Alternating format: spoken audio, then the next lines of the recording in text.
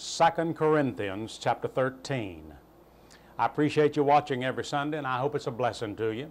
If you're already saved, then our aim is to get you established in the faith. If you're not saved, we want you to see that you need Jesus Christ as your Lord and Savior. And it's our prayer that you'll be convicted of your need to be saved and that you'll understand that the only means of salvation is in Jesus Christ and that which He did for you at Calvary, and that is He died for you there. Today we're going to continue with our thought pertaining to what must I do to be saved. Notice in 2 Corinthians chapter 13, and notice in verse 5. 2 Corinthians 13 5 says, Examine yourselves, whether you be in the faith. Prove your own selves. Know ye not your own selves, how that Jesus Christ is in you, except you be reprobates? Examine yourselves. How can you examine yourself? You cannot examine yourself based upon the doctrine of the church because the doctrine of the church changes over the years. Uh, you can't examine yourselves based upon the uh, traditions of men because traditions of men change. How can you examine yourself? You can't examine yourself based upon the philosophy of men. You say, well, I'll follow science.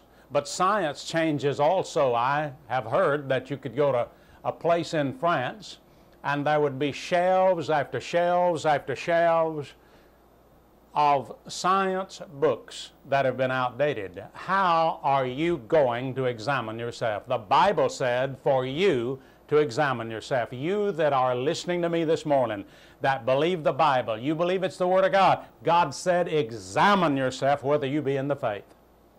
So, how can you examine yourself?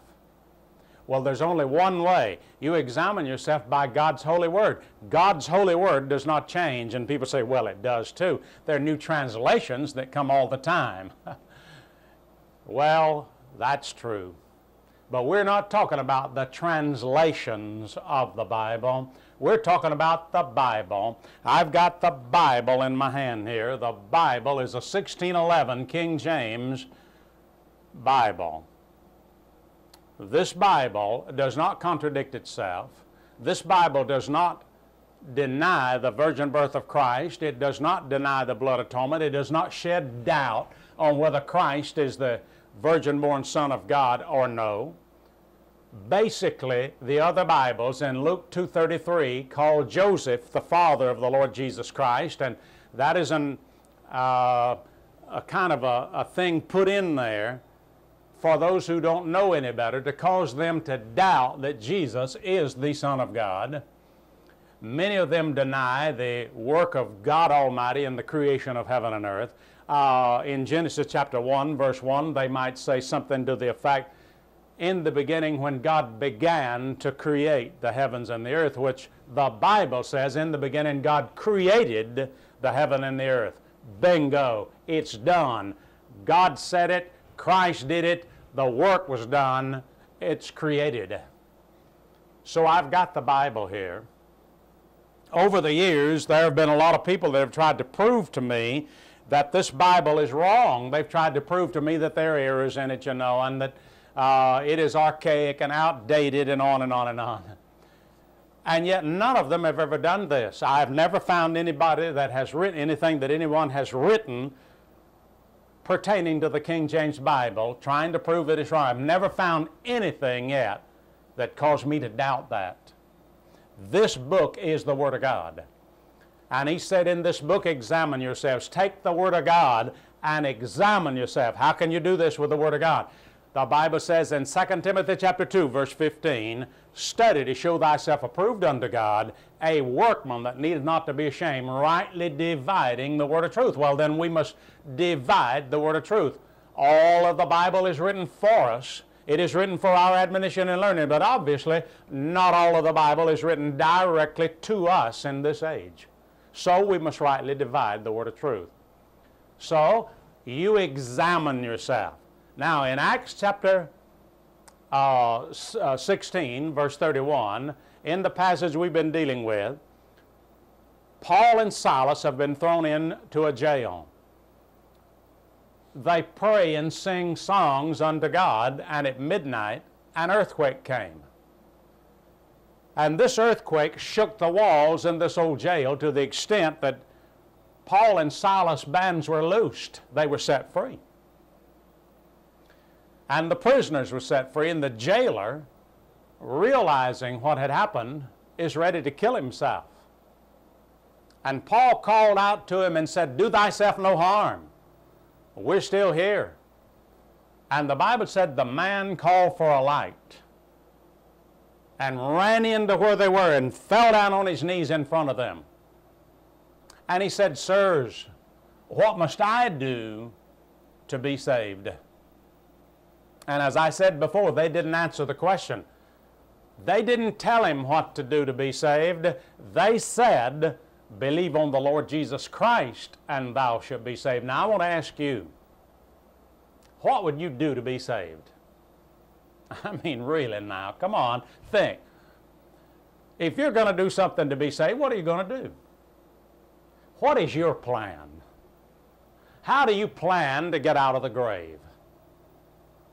The Bible said it's appointed unto men once to die, and after this the judgment. You're going to die some these days. You understand that? I mean, some sooner than others, but if the rapture doesn't come, if the church doesn't uh, be raptured out of here, the Lord doesn't call us out, we that are saved by grace through faith, if we're not called out, we're going to die. You're going to die. That's just an absolute positive thing. It's appointed unto men wants to die, and after this is judgment. You know anybody that hadn't died? Come on, bring the individual forward. I want to see that individual that didn't die. It's appointed unto men wants to die, and after this is judgment. You're going to die. Then what's your plan? How are you going to get out of the grave? You got any idea about that? I mean, how are you going to solve that? Some people say, well, uh, it don't make no difference to me about the grave because when you're dead, you're just dead like a dog, and uh, your soul goes somewhere else. But most of those people that say they believe that, you start talking about them, about the body, soul, and spirit, and they'll deny the existence of it. What are you going to do? How are you going to be saved? Have you got any plans at all for your own salvation? How do you plan to get out of the grave? Number two, there are many of you that listen to my voice. I mean, you're reasonable. You believe the Bible, and you plan to go to heaven somehow. How are you going to do that? You got any plans? You're going to catch a, a, a spacecraft? How are you going to get out of this world? What are you going to do to be saved? What are your plans? Well, there's a lot of things in this Bible that people pick up. Do you realize? Turn, in, turn your Bible, please, to Hebrews. And look in Hebrews chapter 9. In Hebrews chapter 9, notice in verse 22. Hebrews 9:22, and almost all things are by the law purged with blood. For, and without shedding of blood, there is no remission. Do you realize that the only way you can be forgiven by Almighty God is the shedding of blood? There can be no forgiveness for your sins. God cannot forgive you unless blood is shed. Without the shedding of blood, there is no remission for sin. So, may I ask you, what are you going to offer? What is your sacrifice? Are you going to kill an animal? What are you going to do? Cut a chicken's head off? Shed the blood? Offer some kosher chicken? Why, most of you that buy meat, the blood's already been shed anyway. When did you ever shed any blood? And when I was a boy back on the farm, my daddy used to kill hogs. He used to shoot that hog and he'd lay down there, and while that hog is still quivering, the individual that knew what he was doing knew exactly where to stick a knife in that hog, and they would stick a knife in his throat, a long bladed knife, and the blood would just gush out. It would just pour out on the ground. They always covered the blood. But they didn't do that for remission of sins. What will you offer for remission of your sin? Without the shedding of blood, there is no remission. Will you kill a cat? I understand that the uh, police officers are finding them around where the cults today are sacrificing animals. They're sacrificing cats and animals and whatever. What are you going to offer? Notice in Hebrews chapter 10. In Hebrews chapter 10, notice in verse 4 For it is not possible that the blood of bulls and of goats should take away sins. In other words, you could offer animal sacrifices, but they wouldn't take away your sins. They wouldn't make you perfect, the Bible says. The Bible is clear in that context there that there was one that offered a sacrifice. He was perfect, and his sacrifice pleased Almighty God and is to never be repeated. But then let's not stop there. Look in Hebrews chapter 10, look in verse 18.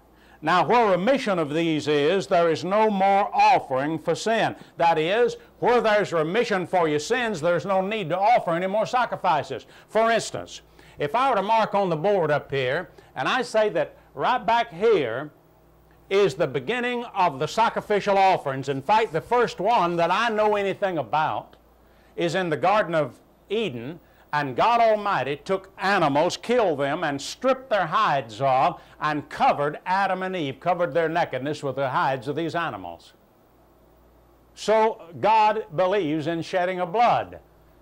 But wait a minute. He said, where remission of your sins are, there is no more need for a sacrifice. But I find that when Moses gave the law, he dedicated it with blood, and animal sacrifices were offered. All the way through in the law, there are blood sacrifices one after the other. In fact, God Almighty tells you in Leviticus chapters 1 through 7 and he says, if you are to bring a sacrifice, if you're going to bring a sacrifice to God, he tells what kind of sacrifice it would be back there. And my point is, they continuously offered blood sacrifices year after year after year. Bloody, smelly mess, blood running out, stripping the animals of their hides, cutting their insides out, and on and on and on. What are you going to do? What kind of sacrifice you got in mind? Where remission of your sins is, there's no more offering for sin. In other words, why then would they continue to offer those sacrifices if the blood of animals could do the job? The point is, the blood of animals can't do the job. But what will do the job? Well, there is one that came into this world, and when John the Baptist pointed him out, John the Baptist pointed out the Lord Jesus Christ and said, Behold, the Lamb of God that taketh away the sin of the world. Jesus Christ is God's lamb sacrifice. Jesus Christ is God's bullock sacrifice. He's the heifer, He's the whole thing. He filled all sacrifices, and they need never be done again. In Hebrews chapter 10, notice in verse 5. Hebrews 10, verse 5, the Bible said, Wherefore, when he cometh into the world, he saith, Sacrifice and offering thou wouldest not, but a body hast thou prepared me. In burnt offerings and sacrifices for sin, thou had no pleasure. In other words, God wouldn't take any pleasure in you offering a blood sacrifice. That wouldn't please God at all. In fact, it'd probably anger him. Uh, in verse uh, 7, then said I, Lo, I come, in the volume of the book it is written of me, to do thy will, O God. Above, when he saith, Sacrifice and offering and burnt offerings and offering for sin thou wouldest not, neither hadst pleasure therein, which are offered by the law. Then said he, Lo, I come to do thy will, O God. He taketh away the first, that's the first covenant, that he may establish the second, that's the new covenant, by the which will we are sanctified through the offering of the body of Jesus Christ once and for all. In other words, Jesus Christ then went to Calvary and Jesus Christ offered himself to God. The Bible said that God delivered him up for us all.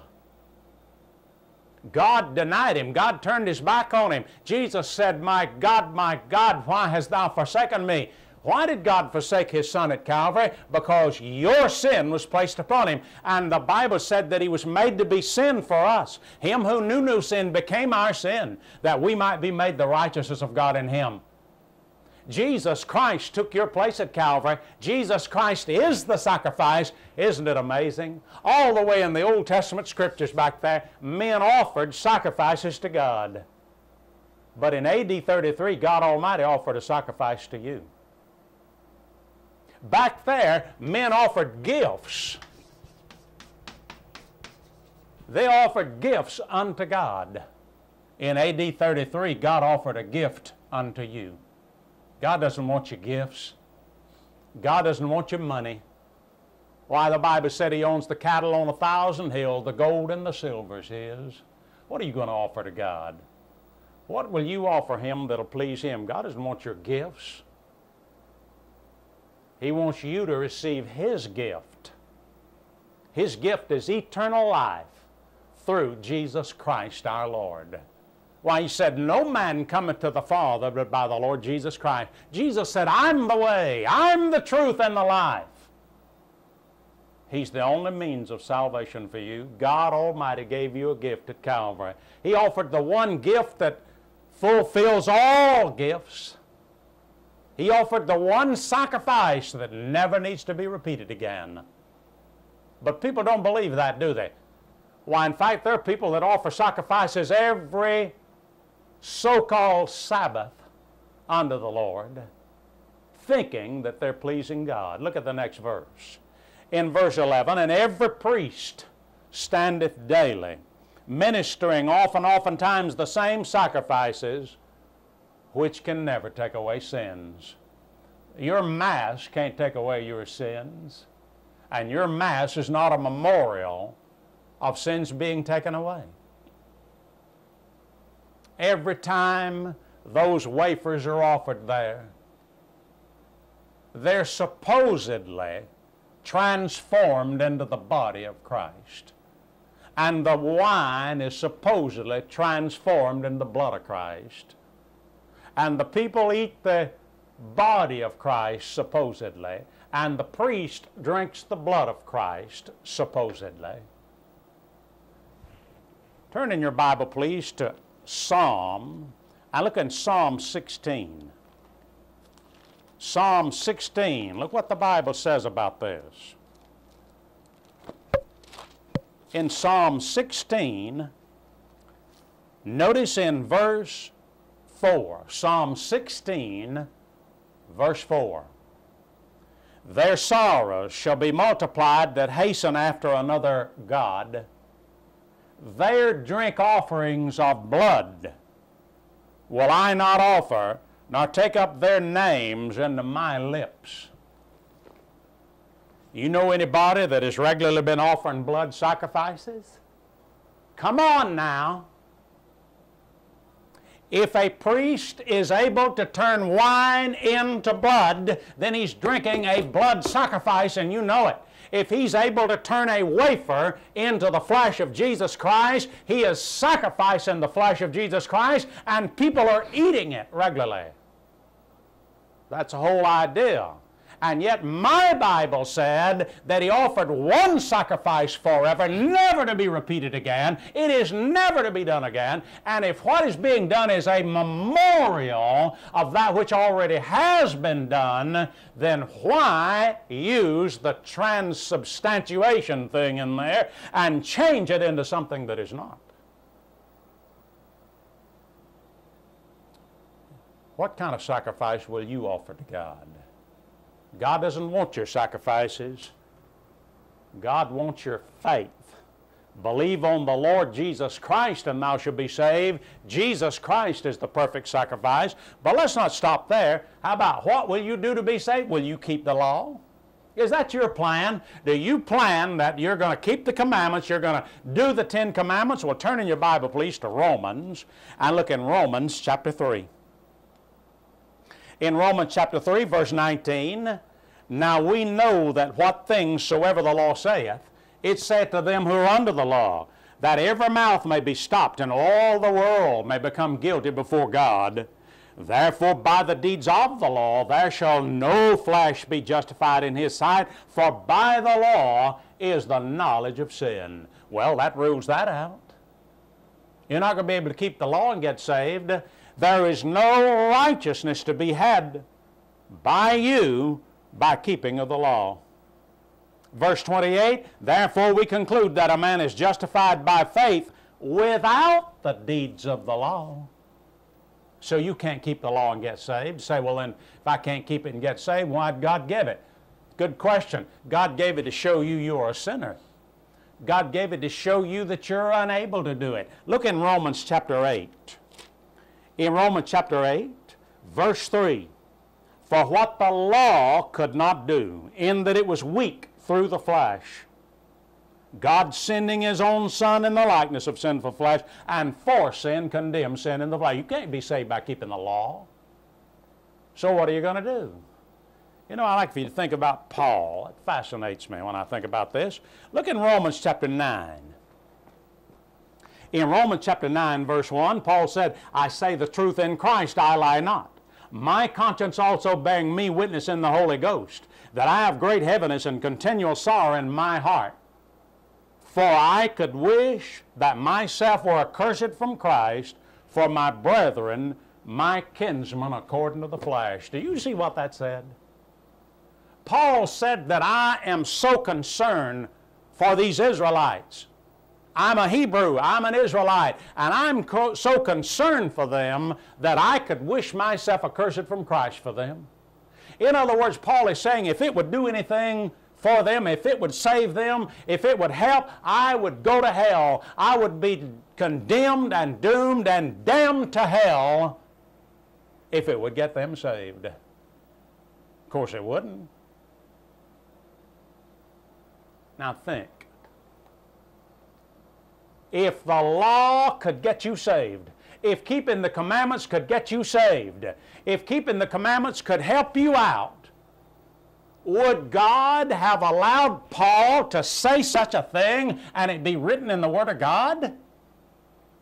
If the law could save people, why would Paul say, I could wish myself accursed from Christ from my kinsmen, my brethren, according to the flesh? In fact, they were given the law. Back there, Moses was given the law for Israel. And God said in Exodus chapter 19, Go speak unto these people. Tell Israel, if you'll obey my commandments and keep my covenants, then you'll be, and on and on and on. The law was given to Israel. But it never saved them. It never kept them from being condemned. It never kept them from being doomed in their own efforts. And so Paul said, I'm so concerned for them that I could wish myself accursed from Christ for them. He didn't say I do, he said I could. But you know what? It wouldn't have helped. Why? Why, Paul knew, Hebrews chapter 10, he knew there had been one sacrifice for sin forever, and there was never to be another sacrifice offered to take away your sins.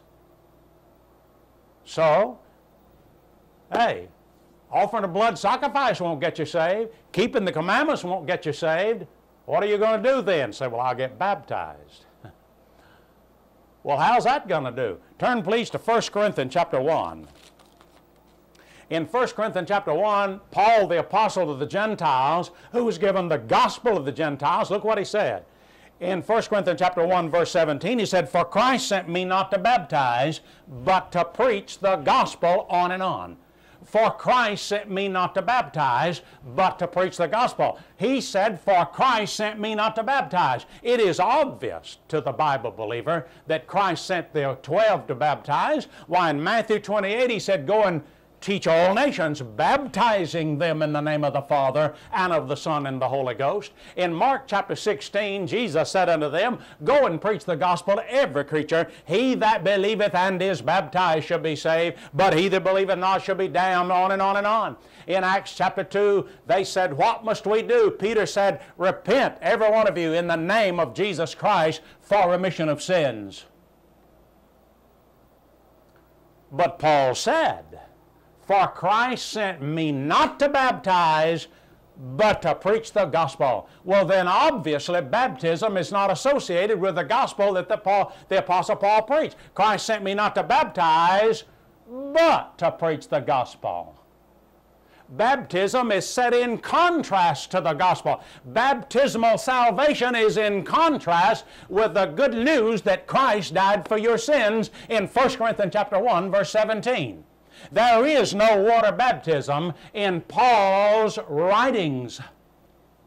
There is not one admonition to you that you ought to be baptized for remission of sins. Paul is the apostle of the Gentiles. Paul is given the gospel of the Gentiles and said, Christ sent me not to baptize. Now think about it. He said, I could wish myself accursed from Christ for my kinsmen. Paul, why don't you go baptize them?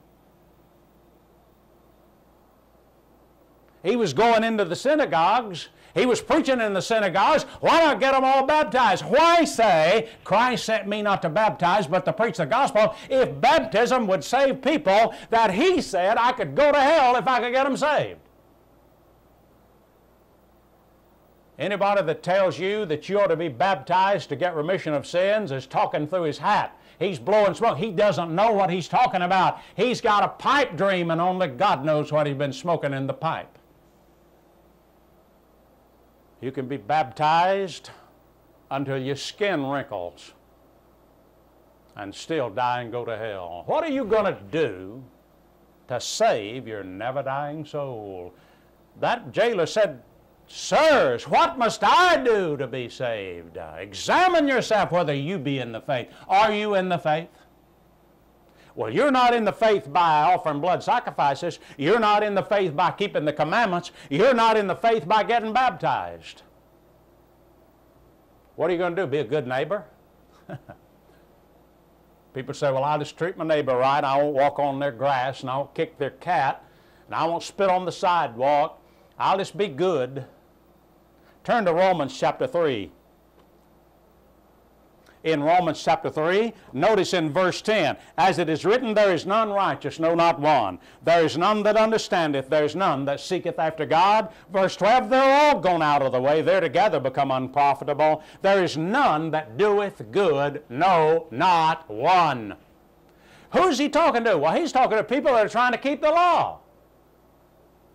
There's none that doeth good. You can't do good by keeping the law. You can't do good by offering blood sacrifices. You're not doing good by getting baptized. You're not doing good where salvation is concerned by trying to be good to your neighbor. It is right to be good to your neighbor. You ought to be a good neighbor. But being a good neighbor won't get you out of this world and get you into heaven. Being a good neighbor won't get you out of the grave and get you off up on the other side in resurrection. The Bible said, Jesus Christ told Nicodemus, except a man be born again, he cannot enter the kingdom of God. You can't get into God's kingdom without a new birth. And water won't get it for you. You know how that's going to be? You're going to have to die, go into a tomb, and rise from the dead to be born again, as Jesus did. Will you believe in Christ? Believe on the Lord Jesus Christ, and thou shalt be saved. He offered the sacrifice for your sins. He paid for your sins at Calvary. You can be saved right now if you'll trust Him. Will you do it right now? Trust Him as your Lord and Savior today. Thank you for listening. Until next time, good day.